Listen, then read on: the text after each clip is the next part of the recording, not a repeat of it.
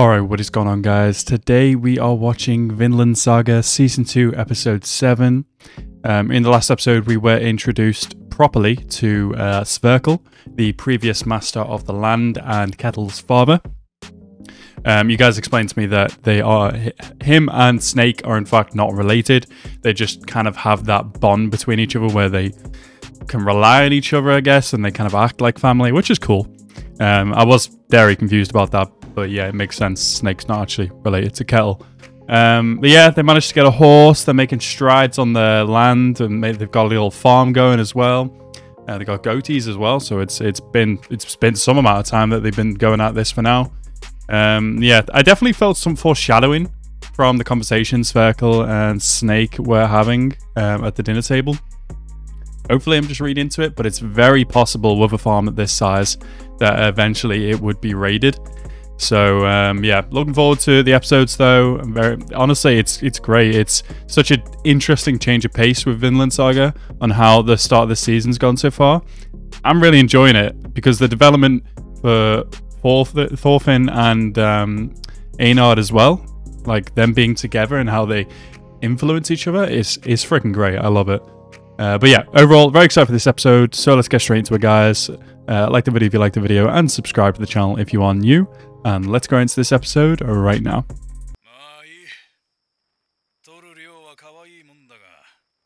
Uh, is this slaves doing this, or is this like raiders, bandits?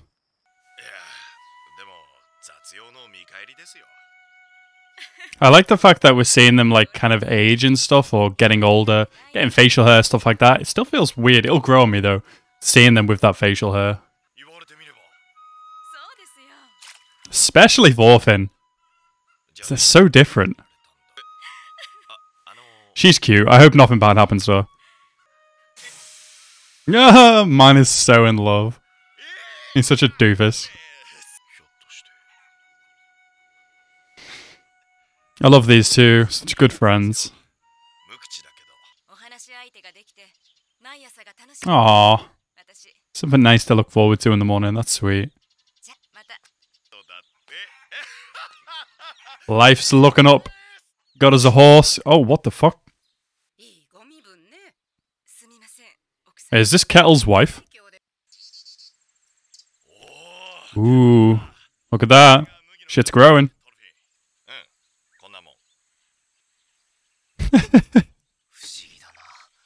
He's so curious. That's adorable, man. Watching him just live a normal life. Oh yeah. Wonder what her deal is. Well, pray? Pray that nothing bad happens to it? oh, Einar. Can't imagine Thorfinn doing this. He's so serious. Join me.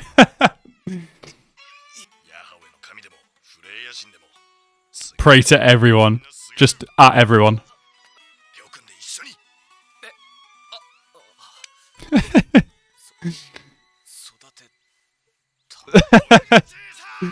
this is so funny. Oh man, season one Thorfinn and Thorfinn now are just so different.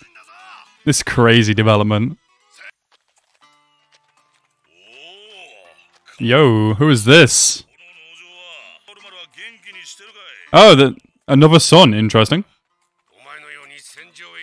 Ah, so this must be who Olmar's inspired by then, his big brother.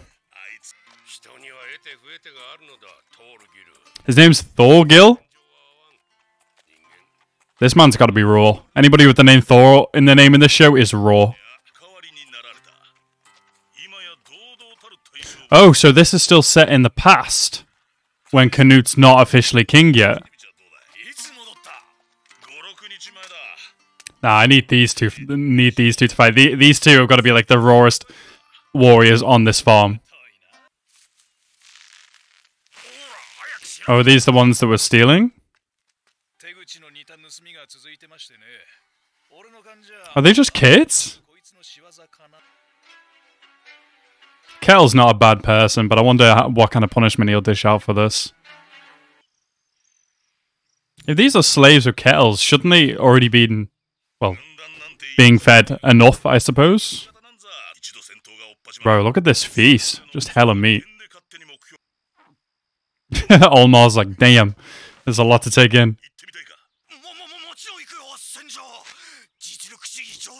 Uh, to prove yourself, you need the skills first, bro. Is that... Are those ears, bro? Bro.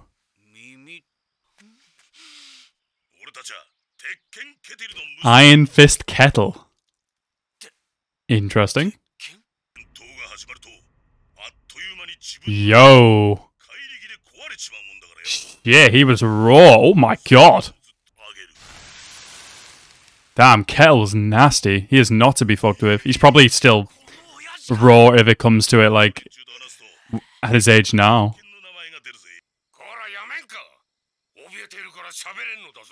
I love how he, how he treats them as actual people.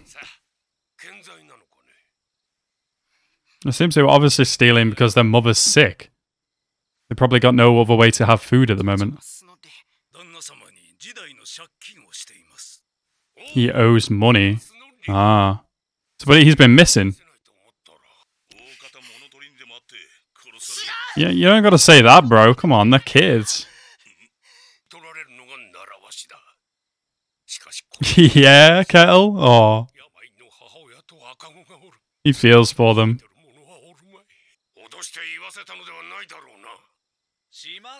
I reckon he, he'll take them in, in some kind of way. Put them to work. that is threatening them. An arm for stealing some flour? Oh my god. There's no way Ketil will actually let them be punished that severely. That son of mine. Not someone... Maybe that's why he, why he doesn't want Olmar to go onto the battlefield. He doesn't want him to be like him. True. There's no way you should chop off a child's arms.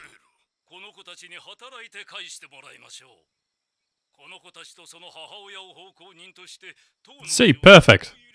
Good punishment. You don't have to actually damage them in any way.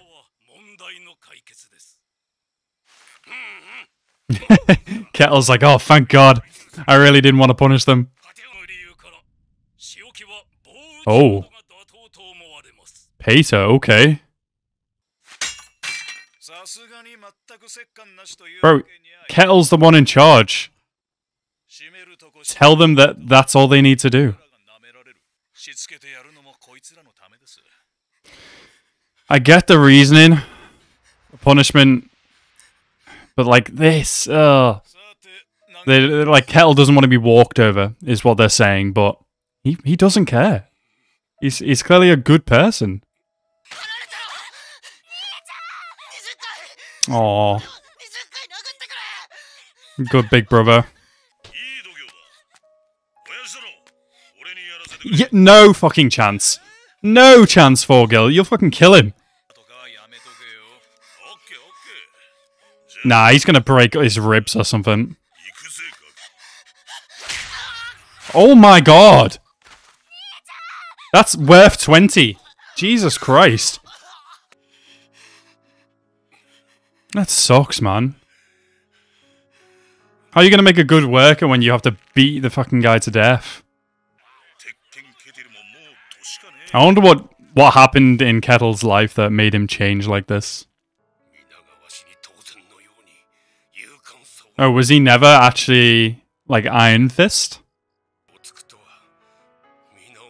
Damn. Really had to set everybody straight with the stories. Oh, I thought they said they weren't they weren't going to hit him in the face, man. Jesus. Well, I guess we know. I guess we know what she actually does for him then.